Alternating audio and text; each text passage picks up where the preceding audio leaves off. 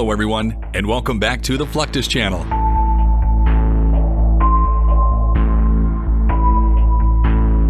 What goes up must come down. And when it comes to sending billion dollar capsules into space, recovering them when they come down is an essential process.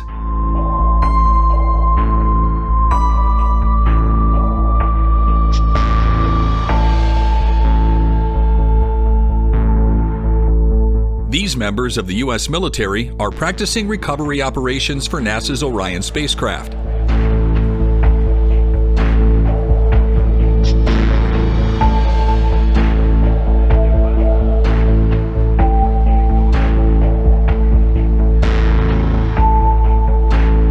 Designed as a semi-reusable crewed space vehicle, the Orion was designed by Lockheed Martin and Airbus to withstand the immense strain of multiple trips to space.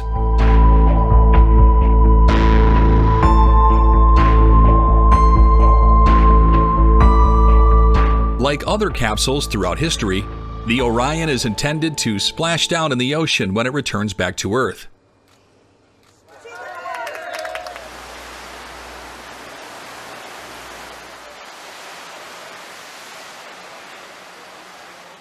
While this makes sense, it poses a problem because the Orion can only float for a short time.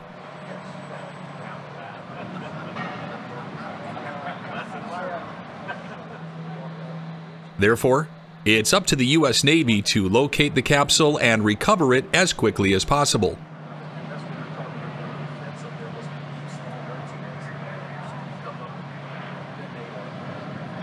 In this case, the crew of the USS Arlington is using fast boats and hooks to direct the capsule into the ship's well deck.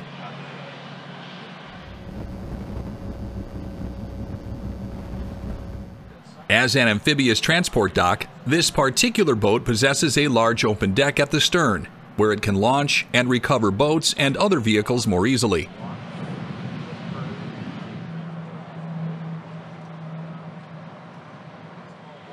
As the Orion capsule weighs around 20,000 pounds and has no way to direct itself once in the water, recovery operations can still prove to be a challenge.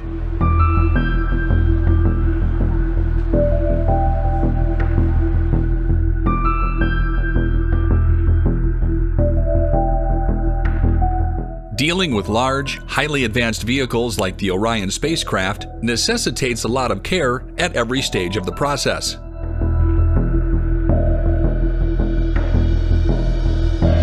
Even just delivering the capsule to and from a launch area requires the use of a specialized plane.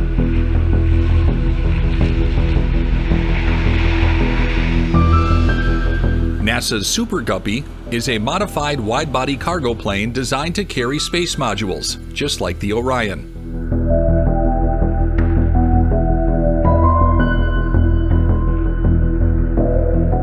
Its massive cargo bay allows the plane to carry a variety of large-scale objects and vehicles safely, in ways that standard cargo planes could not.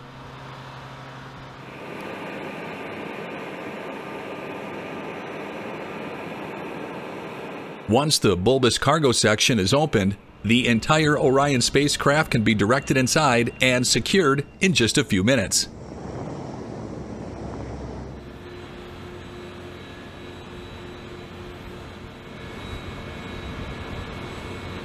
The Orion spacecraft is just one part of NASA's Artemis program.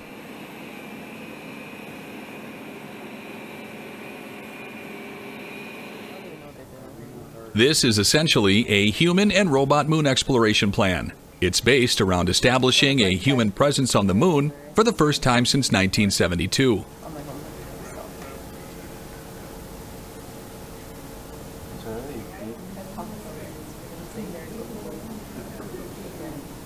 The Orion is placed atop the SLS Space Launch System, with the highest payload and liftoff thrust of any rocket currently in operation. The first attempt at launching the Artemis 1 rocket took place in late 2022.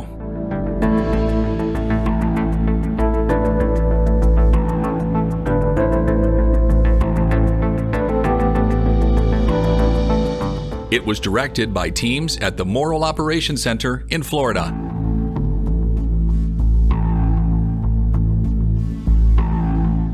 The mission, which ended up being a rousing success, saw the Artemis travel more than 1.4 million miles on a path around the moon before the capsule splashed down in the Pacific Ocean off California.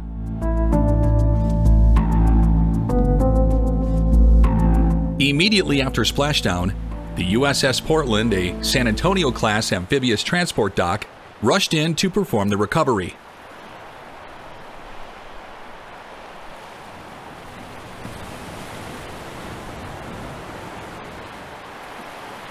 The Portland was NASA's at sea command center for the operation and was also tasked with taking the orbital back to California after landing.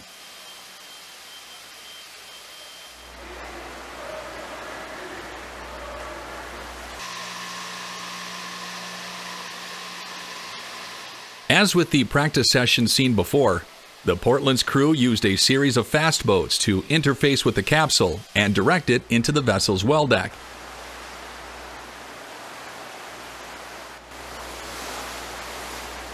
Once the ropes were attached, crew members inside the well deck were required to help pull the capsule into the Portland before the waves could blow the operation off course.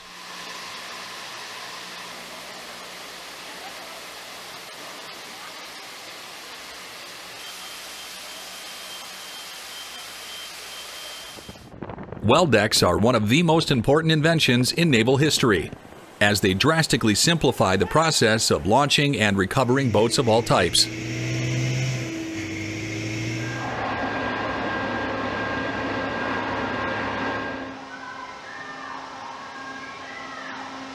They are most commonly constructed aboard ships that perform amphibious assault duties.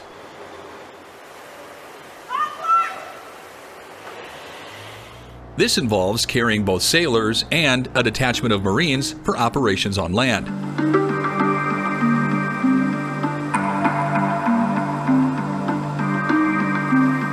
For this reason, the U.S. military developed the Landing Craft Air Cushion,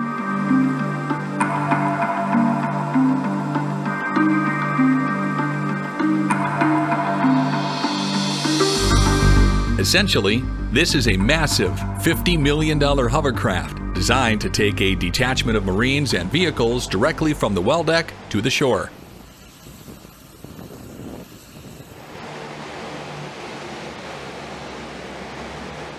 Unlike traditional ship-to-shore vehicles, the LCAC is incredibly fast,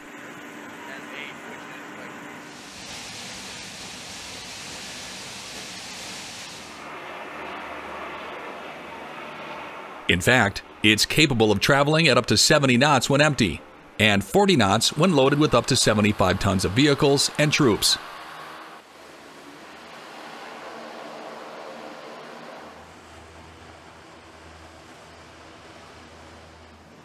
Because it travels on top of a bladder that creates a cushion of air, the LCAC can immediately transition from operating on the ocean to operating on land.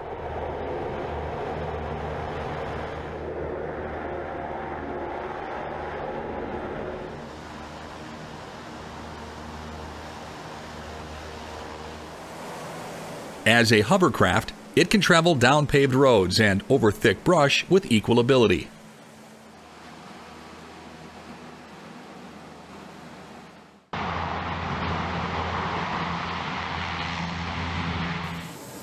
All LCACs are designed with a large front ramp, allowing for quick loading and unloading of vehicles like tanks and Humvees.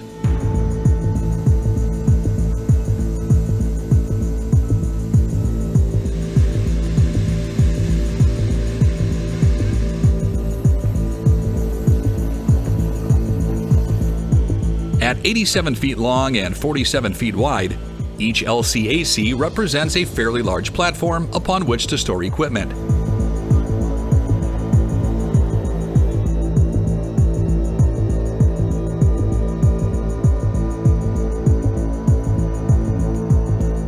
It also means that Marines can land in areas where traditional boats might not be able to come ashore.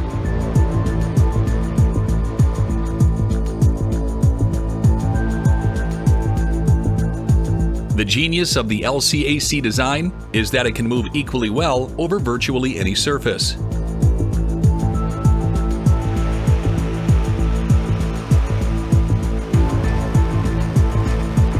Because the vehicle is constantly supported by an air cushion, friction is virtually non-existent when moving across water, land, swamp, sand, or pavement.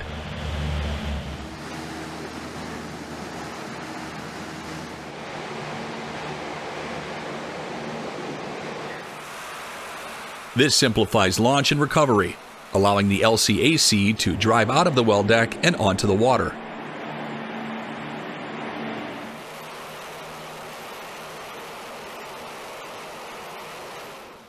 It can then deliver its payload and drive directly back into the well deck without needing recovery assistance.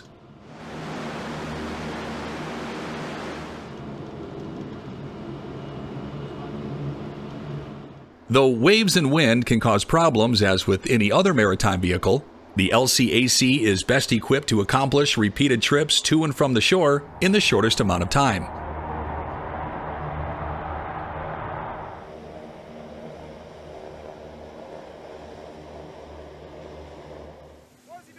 In the Navy, launch and recovery operations are not limited merely to boats and other vehicles.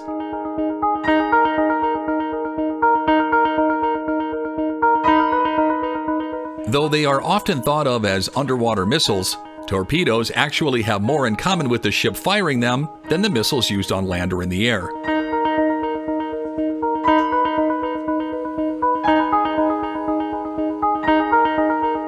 Each torpedo has its own propulsion system, can navigate and track its target.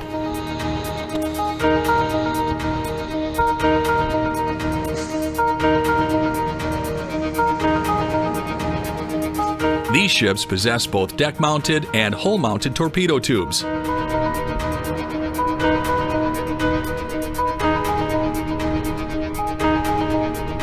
Upon encountering an enemy vessel, these tubes can be maneuvered into a firing position and release a torpedo in a matter of seconds.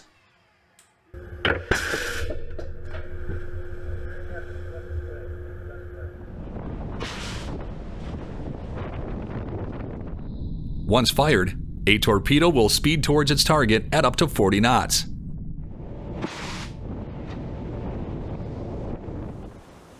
Upon making contact with their target, the warhead inside the torpedo will explode,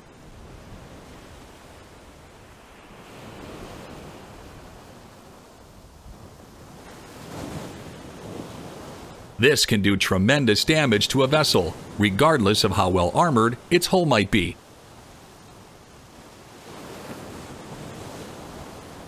In fact, though ships have survived being hit by a torpedo in the past, modern torpedoes are much more dangerous.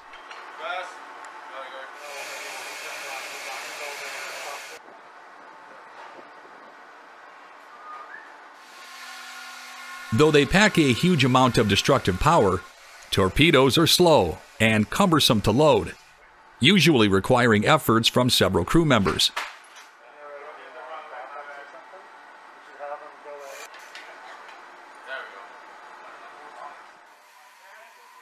Luckily, they can also be dropped from aircraft.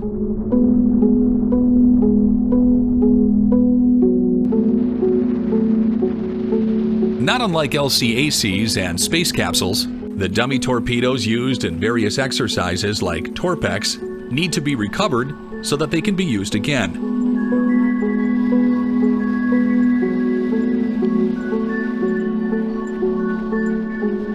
Indeed, these weapons can cost between 700,000 and several million dollars, so divers and other recovery teams are often trained to safely get them back on board after firing.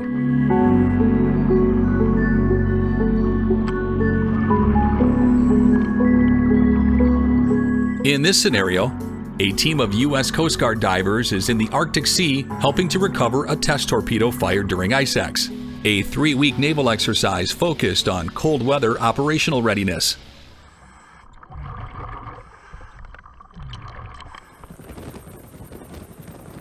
In such an environment, recovery divers need to overcome several unique challenges, including sheets of ice several feet thick.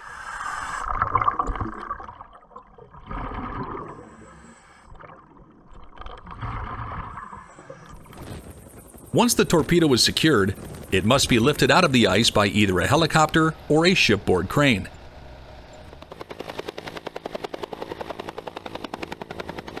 In the end, as with any other recovery process, it takes teamwork and coordination to produce the right results.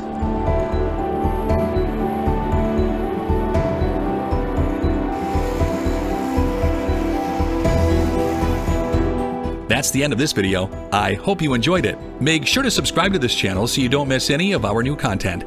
See you next time.